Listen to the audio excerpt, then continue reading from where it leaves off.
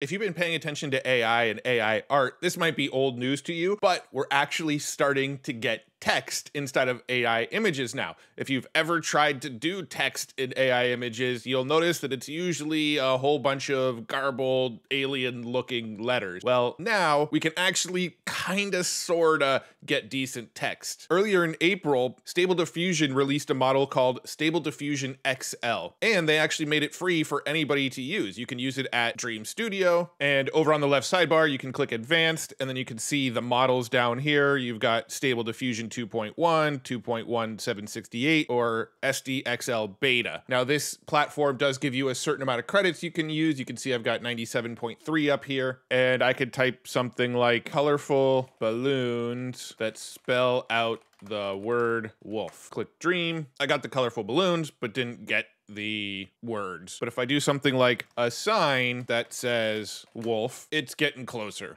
It's spelled wolf, drop the E, it's getting there. Stable Diffusion is slowly getting closer to the quality of Midjourney, but in my opinion, it's just it's still not quite there yet. Now, another place you can use it for free is by going to clipdrop.co slash stable diffusion. And if you enter a prompt here, it will use stable diffusion XL. One of the examples they gave here is Paris Hilton and Albert Einstein wedding pictures. So let's try to do something similar. Let's do Kim Kardashian and Abraham Lincoln wedding photos. And let's go ahead and generate that. And here's what we got out of it. I mean, that's probably the best one there. This one, I don't know what's going on with their faces. Again, just not a lot of detail up here. And yeah, something really creepy is happening in this picture. By comparison, here's what I got out of Midjourney. I feel like it got Kim Kardashian okay in this one uh, guess that's Abraham Lincoln. But if I put them side by side, I still think that Midjourney is the clear winner between the two. Stable Diffusion was able to get the context of two people a little bit better. It was able to get Abraham Lincoln and Kim Kardashian. They're just not very good generations. Where Midjourney kind of figured out one of the two people, it figured out Kim Kardashian okay in most of them, but then it couldn't really also do Abraham Lincoln. It put Abraham Lincoln in the background of this one, so eh, not too bad. But if we're comparing the two, I still think Midjourney wins out as far as detail and style and realism and all of that kind of stuff. Stable Diffusion XL still leaves a little bit to be desired. Now, coming back to the text discussion. So I mentioned that Stable Diffusion released XL, which supposedly does a little better job with text, which we can see this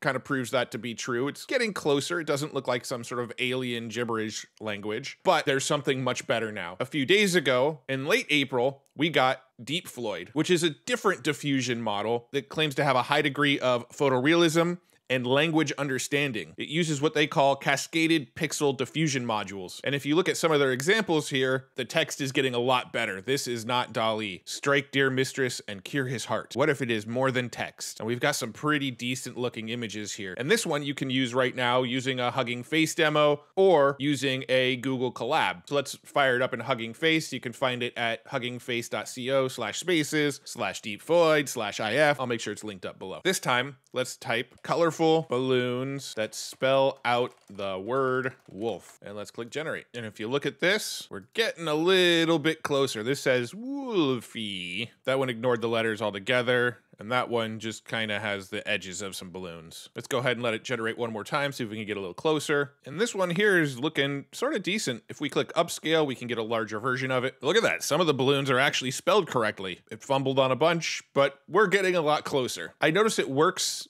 a lot better with known words versus, you know, this is my last name here. So if I was just to make it say wolf without the E, and let's put it in all capitals, it'll actually probably do a much better job because it's a word that it knows. And so if we look at this and we can upscale this one here, you can see that it pretty much nailed what I was asking for this time around. It's got colorful balloons that spell out the letters wolf. Down here, here's some other examples, letters made of candy on a plate that says diet. And you can see it pretty much almost nails it. The E's a little bit funky looking here, but it's pretty dang close. It looks like chocolate and jelly beans there. Here's a more detailed one, a photo of a violet baseball cap with yellow text, Deep Floyd 50 millimeter lens, photorealism, etc., etc yellow stitch text deep floyd let's go ahead and generate this and see what it looks like this one added an extra e so it's deep floyd but for the most part, it pretty much nailed what it was asked for here. That one's looking pretty dang solid. That's some solid looking, realistic stitching. I mean, this hat's got some funky cracks in it, but that stitching where it says Deep Floyd,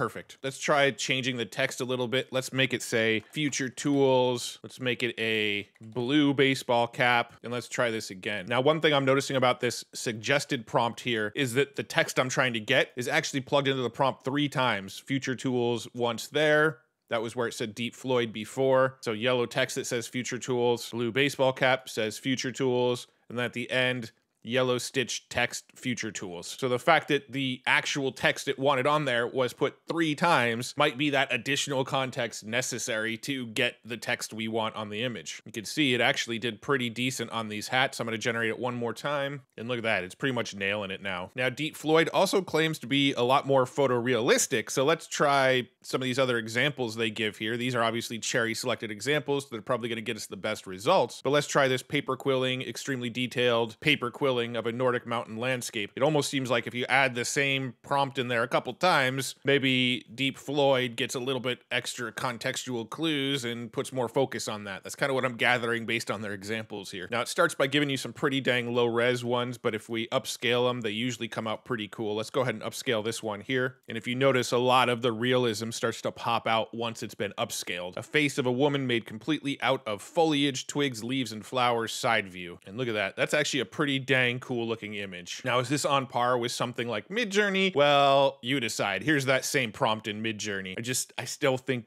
the details are just so much more there. The realism is just so much more there in Midjourney, but this is definitely getting a lot closer. I just think the nose and the lips, there's something funky going on. This image also looks a little bit grainy, a little bit noisy compared to these ones, which are just so much more clear. And the facial shape just looks a little bit closer to me. All right, finally, I need a YouTube thumbnail, so I want to try to think of something wacky. I'm going to add a lot of detail. I'm also going to put the text a couple times just to give that extra contextual clue, so hopefully it gets the text right a monkey wearing a top hat, holding a sign that says subscribe to Matt Wolf, cardboard sign written in Sharpie, subscribe to Matt Wolf, detailed lettering on sign saying subscribe to Matt Wolf. Let's just add all of that detail in there and see if it comes out with what we want. All right, so the first pass, I got subscribe to to Matt Wolf, subscribe TT Matt Wolf,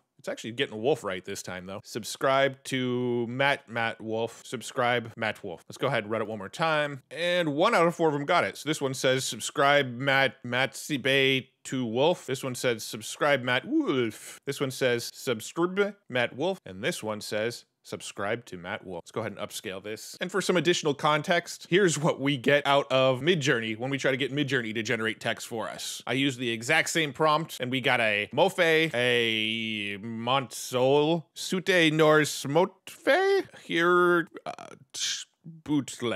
The monkeys look really good, but it can't do text. And here's what we got out of Deep Floyd. Now, I don't know why the monkey has so many hands. Maybe these are the monkey leg hands, whatever you call them. But it actually got the text right. So there you have it. We've got two AI image models that can kind of sort of start to do text now. It's a giant leap from the text we were getting out of things like Midjourney. I would say the actual image quality isn't quite up to par with what Midjourney is yet, but the ability to do text is far beyond what any other AIs before this have been able to do. So once we get the blend of the two, like Midjourney's quality and the ability to generate text like what Deep Floyd can do, then the sky's the limit of what we can generate. We'll probably be able to just make full-on YouTube thumbnails and featured images for blog posts and all that kind of stuff straight inside of our favorite AI program, and it'll just do all the text and all the images, and the whole thing will be made for us. I think we're like this close to doing that. Like I said in the past, if you're not impressed with what we can do with this stuff now, give it a month, because this is as bad as it's going to get. Some little tricks that I've found when using Deep Floyd to try to get text. It seems that if you add the text into the prompt multiple times, you can see I put it into this prompt three different times saying subscribe to Matt Wolf. That seems to make sure it gets that additional context of what you want. Also, I've noticed that sometimes it takes a few generations to get to what you want. So I generated this once. All of them, the text was a little bit funky. I did a second pass on it. The second time I did it, I got one image that was a little bit more decent. Let's go ahead and generate it a third time. This time I got like a toy monkey that says subscribe Matt Wolf and a monkey sign that actually says subscribe to Matt Wolf properly. Let's upscale this one, see what this looks like. But the Point being, you might need to do a few passes before you finally get what you're looking for. But if you're doing this on something like Hugging Face, there's no additional cost. You can just keep on generating it until you get what you're looking for. So if it takes you pressing the generate button three or four times to get the exact image with the exact text you're looking for, not a big deal. It's fast right now, and there's no additional generation costs. You might have to wait in queue for a couple extra seconds while other people generate ahead of you, but it's not a big deal. It's pretty fast right now. This is still super early days with this technology. Deep Floyd has been teased for months and months and months now. They've been talking about releasing this for so long now that I almost forgot about it. And then one day they dropped it and I was like, yay, we get to play with it. From what I understand, one of the future Midjourney versions, either Midjourney V6 or V7, they're planning on adding the ability to add text into it. So we're also going to start to see this kind of technology where we actually get coherent text in some of our images with Midjourney soon too. And then I would imagine soon to follow, we'll get it in awesome tools like Leonardo as well. Next thing you know, we'll completely forget about the days where, remember when AI couldn't generate text? Remember when it just kind of looked like an alien language that nobody understood?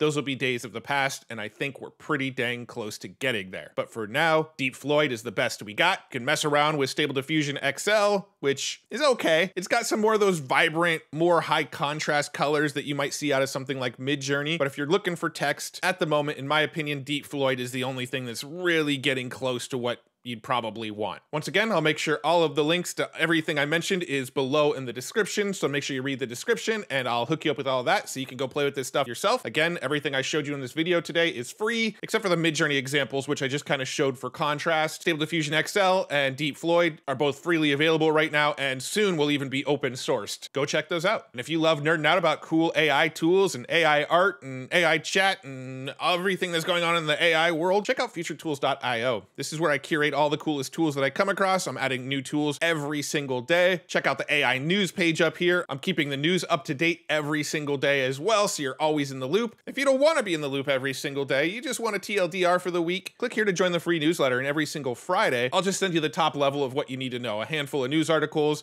the five coolest tools I came across, a couple of YouTube videos, and one really interesting way to make money with AI. I send it every Friday. Again, it's the TLDR of the week for just the people that want one day a week to get all caught up with everything that happened in AI for the week. That's what the Future Tools weekly newsletter is, and you can find it over at futuretools.io. Click the join the free newsletter button, and I'll start hooking you up every Friday. Thanks so much for tuning in this video. Hopefully you enjoyed it. If you like videos like this and you want to learn more about AI art and AI chatbots and cool projects you can do with AI and watch me nerd out about more random AI and virtual reality and augmented reality and all sorts of random fun future tech stuff, make sure you give this video a like and I'll make sure more videos like this show up in your newsfeed. And if you haven't already, subscribe to this channel. I'd really appreciate it.